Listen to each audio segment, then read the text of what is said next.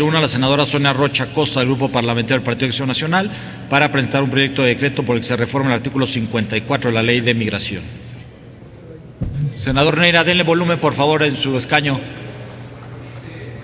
Sumarme a tan importante iniciativa, por favor. Senador Félix, que si le permite, senador Félix, Félix. que si le permite suscribir, al, al senador Chon también, ahí al senador Arechiga también, a la senadora Lorena también, y a todos los que deseen hacer los servicios parlamentarios que recoja las firmas. Ahora sí, senadora, gracias.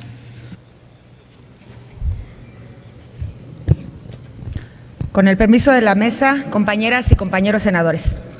El único Estado estable es aquel en el que todos los ciudadanos somos iguales ante la ley. Aristóteles. Hoy en día es de gran importancia conservar el vínculo familiar de todos y cada una de las personas, ya que lo anterior representa la unión de estas, los valores, las tradiciones y la cultura heredada en generación en generación, por lo que es, es indispensable luchar y proteger dicha unidad.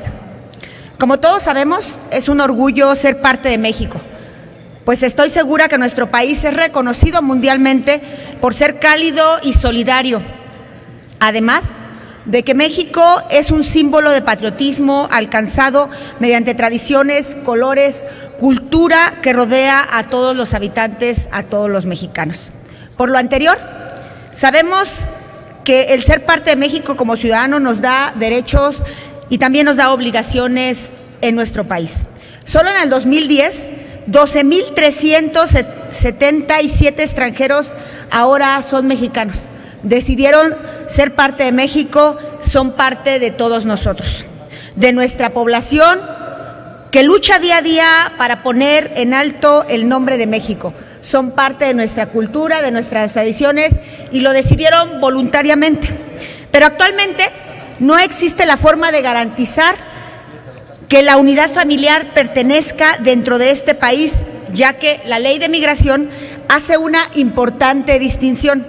En el artículo 54, donde establece únicamente que los ascendientes y descendientes en segundo grado, en línea recta, de los mexicanos por nacimiento pueden adquirir una residencia permanente, dejando a un lado a los mismos familiares de los mexicanos por naturalización. Debemos recordar que los nacionales quieren, quienes decidieron adquirir la nacionalidad mexicana, cumplieron todos los requisitos establecidos en la ley de nacionalidad, entre ellos renunciar a otra nacionalidad para poder ser mexicanos. Por lo cual, no existe una razón objetiva y razonable para hacer la distinción entre nacionales por nacimiento y nacionales por natu natu naturalizados. Al seguir creando dicha distinción, además de lo anterior expuesto, estamos vulnerando nuestro máximo ordenamiento jurídico en su artículo primero, el cual establece que queda prohibido toda discriminación motivada por origen étnico o, racial. Por lo anterior, propongo ante ustedes la iniciativa de reforma al artículo 54, fracción séptima de la Ley de Migración, para que en su fracción séptima quede de la siguiente manera. Artículo 54. Otorgará la condición de residente permanente al extranjero que se ubique de cualquiera de los siguientes supuestos. Fracción séptima. Por ser ascendiente o descendiente en línea recta hasta el segundo grado de un mexicano por nacimiento o por naturalización. Por lo anterior expuesto, les agradezco su atención. Muchas gracias. Gracias, senadora Sonia Rocha. Túnez a las Comisiones Unidas de Asuntos Migratorios y de Estudios Legislativos.